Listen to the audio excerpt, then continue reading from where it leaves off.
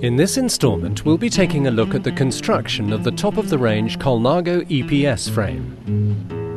The bare tubes have to be prepared before frame construction can begin, and the first step is to miter the ends of the tubes using a miter cutting machine.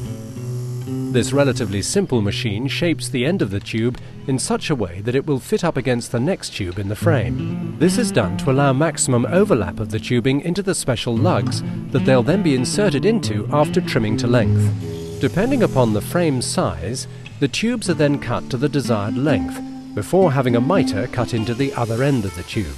Batches of tubes are prepared and then stored on shelves. This way there will always be a ready stock of tubing to begin frame building allowing Colnago to react to orders within minutes.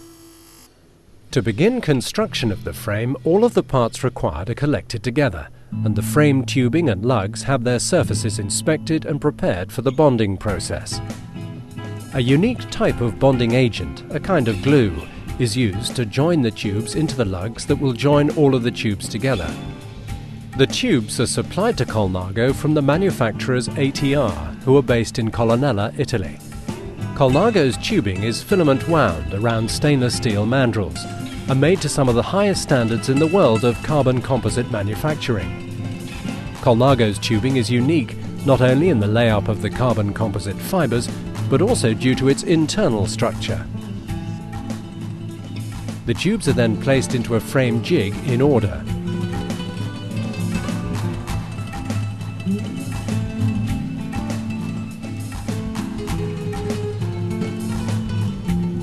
All of the tubes and the lugs are clamped down, with alignment taking place at every step to ensure that the finished frame is perfectly straight.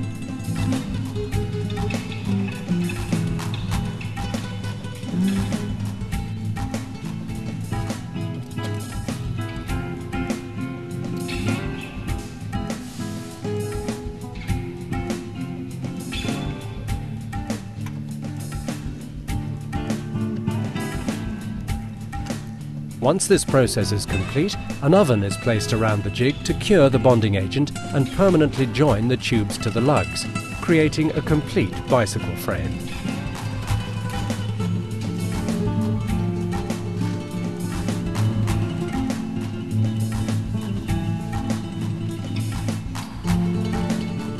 After the required cooking time, the frame is left to cool in the jig to ensure it remains perfectly straight.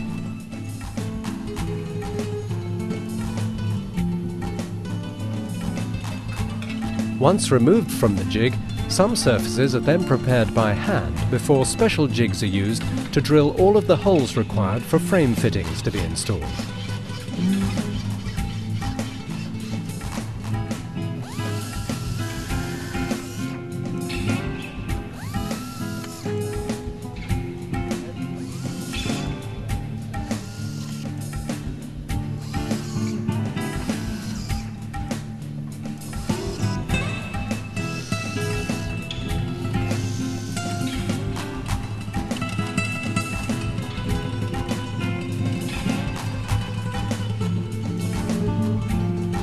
Each frame then has the head tube machined before being inspected for alignment.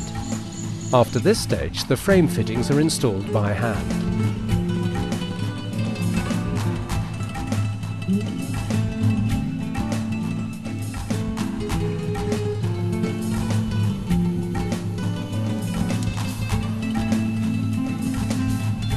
Cable stops and the front mech braze-on are fitted, after which the frame is ready for painting.